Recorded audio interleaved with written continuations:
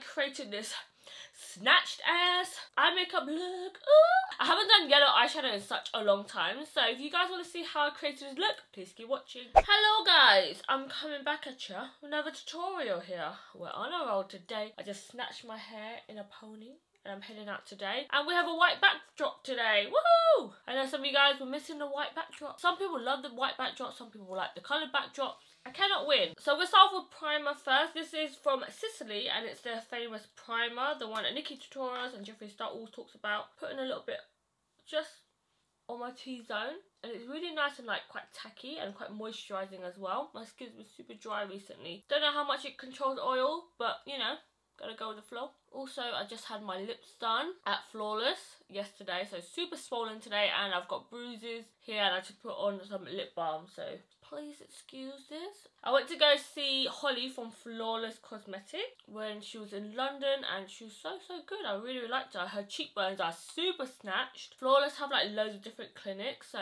they kind of travel around the UK. So I'll leave the link down below if you guys are interested, they do loads of like lips, jawline, cheeks, and there's five different nurses. Holly's the owner. She's really good and she's really experienced and she's been doing it for like five years. So yeah, I'll leave the page down below so you can check them out. So I'm actually going to do some cream contouring today. Yeah, we're taking it there. I'm going to use the Hourglass Almond Vanish Stick. I haven't done cream contouring in so long.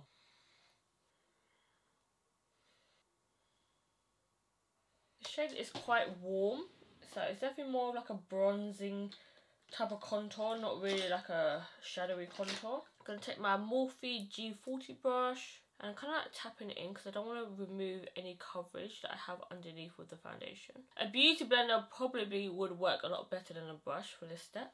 And then just blend it into my forehead, right into my hairline. Okay, there's someone mowing their lawn outside. So if you hear that buzzing, it's the freaking lawnmower guy. So I'm going to go in a bit of concealer. This is the Instant Age Rewind Concealer from Maybelline. Good old Maybelline, you know. I haven't used this in ages. Just underneath my eyes. So it's super nice and bright.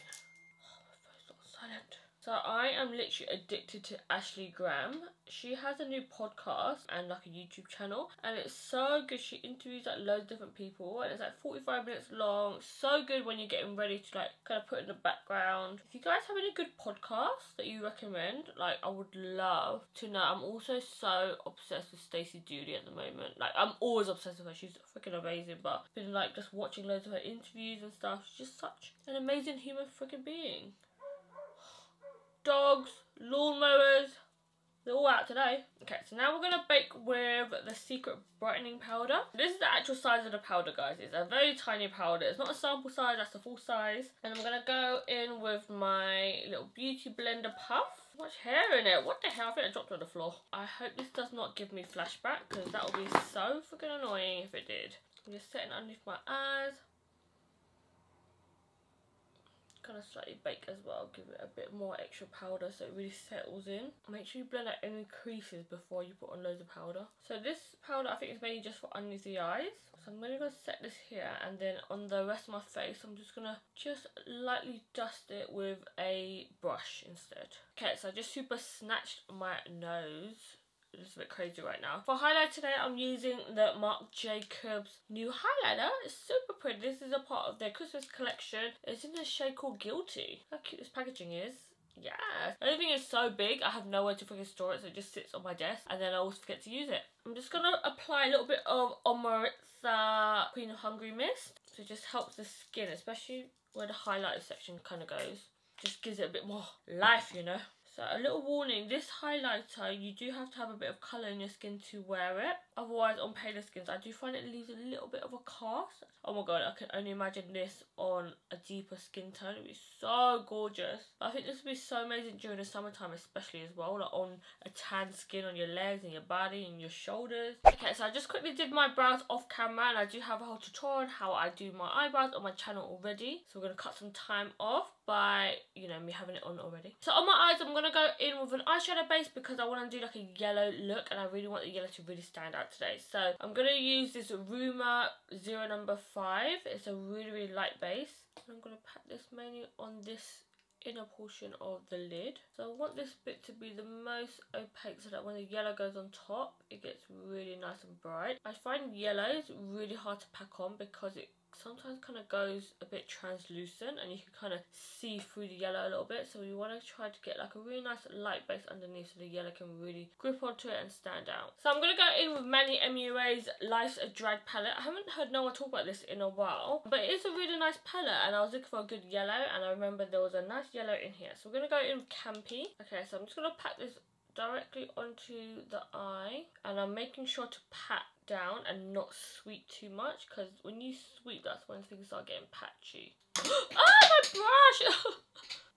yes, use my toes. Sometimes I feel like I'm a monkey guys, honestly. I pick up stuff with my toes. I can put stuff back with my toes. Guys, I would love to know what you guys like to watch on YouTube. Like, forget makeup tutorials, or if you only watch makeup tutorials, let me know down below. But I am actually really, really obsessed with trying to find like other stuff apart from beauty. I felt like for the longest time, I was just in the beauty community, but there's actually a whole different side to YouTube. There's like so many things on YouTube, like loads of documentaries, which I'm obsessed with watching documentaries. I love Unreported World. If you guys love documentaries, you guys need to watch their stuff. So the one about Madagascar was so, so sad. Like over there, for some reason, they think that twins is like a curse. So as soon as the mum balls out twins, they have to abandon the child and like throw away the child basically or you're exiled from the village and it's so so sad. There was also another one about the most polluted place the most obese place like so so good. Make sure you check out unreported world if you love documentaries. If you guys know any other channels that do loads of documentaries i would love love love to know i love just leaving stuff in the background and listening to it it's just so so exciting i love being educated about you know what's happening around the world because i don't watch the news or anything so i want to be able to educate myself but in an entertaining way kind of thing sometimes i feel like when i watch tv and news and stuff it's just too political and it's just not fun. So yeah, love documentaries, love Ashley Graham. Who else do I watch on YouTube? I actually love Drew Binsky. Think that's his name. He only does like three minute kind of similar to documentaries, but he basically travels around the world and he does like little three minute videos and he kind of explains like tribes around different villages, what it's like to be in Cambodia. He goes to like weird places. His goal is to go to every single country in the world. I'm just using a big blending brush, I'm just buffing this out. I also love, oh my god, JK News, JK Party, always watch them. I literally love them. If you're Asian, I feel like you would definitely love them. So JK Party, they basically play like games and it's really, really fun on there. But not like game as an actual game game. They play like board games games and like challenge videos and all this fun stuff where they eat weird stuff. JK News is all about like the news, like current situations that's happening around the world, but they have like their funny spin on it and it's kind of like a table talk type situation. Okay, so I'm gonna go in with the Carnival palette from Stacey Marie in collaboration with Be Perfect. I'm gonna go in the shade Shuffle which is quite like an orangey shade. And then just on the outer corner, I'm just going to start to work this crease and make it a bit deeper, but still kind of in the orangey kind of yellow realm. I have no idea what I'm wearing tonight, guys, but I have no idea why I wanted to wear yellow eyeshadow so much. I'm using my Smith 232 brush, which I absolutely love Smith brushes. A lot of people don't talk about Smith brushes, but they honestly have that one of the best brushes ever because they're so nice and like blendable. Also, I have to say thank you so much for all the love you guys showed me on my boob video. I know you guys are waiting for that for such a long time. And when I first went in to do my boobs, I was like, yes, I'm definitely going to put up the video. I don't know, sometimes I feel like on my channel, I don't want to put myself in a box of that girl that always just has surgery. Because there's so much more to me than just freaking surgery. But obviously, they're like my most watched videos. And I never want anyone to feel like they have to have surgery to fit in with society or fit in on social media. So I was like, oh, maybe I shouldn't post it. Because I was traveling so much, I didn't have time to edit it. But then I kept kind of putting it off because I was like, oh, I don't want people to like judge me or, you know, especially because I went to Elite. I had a really, really good experience at Elite. If you guys don't know, two weeks after I came back, or maybe three weeks after, someone actually died. You guys can read it on the news and stuff, but it's obviously so sad because I went there, I had so many messages as well, and it's like, oh my god, like I don't know what to say. Like it's an awful thing to happen to anybody, but at the same time, it's also so many things that can go wrong especially with me doing like social media and I have like a platform and stuff. I do feel really conscious and I never want anyone ever to like go somewhere and then they hate their results because of me. Same like I show you guys an eyeshadow palette. If you buy the eyeshadow palette and you don't like it then I don't know like do you keep blaming me? I have no idea but it's really really terrible. And obviously my thoughts go out to the family so much and I hope this kind of like reminds people that surgery isn't an easy thing. There's like a lot of things that go into surgery that could happen. You might get an infection, you might be allergic to the anesthesia. There's so many different things that can contribute to all the factors of surgery. So definitely do your research and with any surgery that you have like you know even Grant he had surgery on his wrist because he fractured his wrist in a motorbike accident even when he went under with the NHS he had to sign so many documents it's like signing your life away a lot of people actually die from the anesthesia rather than the actual surgery because anesthesia is basically putting you to sleep. It's so controlled as well. Like if they put too much in, it can like knock you out. If you have anything to eat or anything, that's why it's so so dangerous. And there's a special person that just does uh, anesthesia. I can only show you guys what happened to me and how my results were. So thank you guys so much for understanding and showing me all the love you guys did on that video because I was really scared to put that out to be honest. Okay, so we're gonna darken this up a little bit because it looks a bit too freaking summery for me. So we're gonna do like a really nice dark brown on the outer crease. So I'm gonna go in with Rowdy. Obviously, I just saw here that there's a yellow as well, so you can obviously use the yellow in here. I got this palette from Beauty Bay, by the way. I'll leave all the links down below to all the products I use, of course, and there's not even a mirror here. And I'm gonna blend it into that orangey shade and really like buff this out and I kind of really want to like carve out this crease as well. I feel like also this year is like the year of like eyeshadow palettes. Don't you guys feel like so many eyeshadows and so many collaborations coming out which is so amazing. I feel so so proud that like us as normal human beings that just happen to be on camera has built this platform where there's big companies that would like to collaborate with us. The other day I went into Superdrug and I saw my collection and it's just so crazy to know that it's there for just people wandering around to go and buy. I'm just building this crease up. This is the Zoeva 228 brush and I'm just going back in with that shuffle orangey shade and I'm just blending all of the colours in together to make sure there's no harsh lines or anything like that. It needs to be all really nice and smooth. Okay, so I've just blending out my other eye and then just underneath my eyes I'm gonna do a smoky lower lash line and I'm gonna bring it in all the way but I'm gonna kind of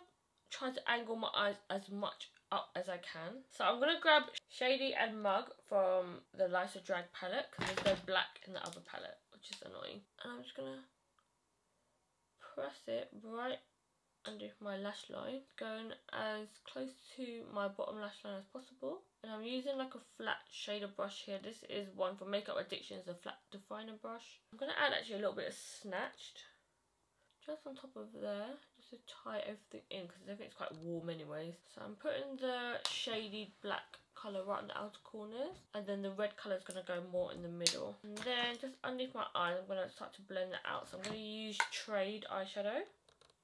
I'm just going to buff that out just slightly just so it's not like a harsh line.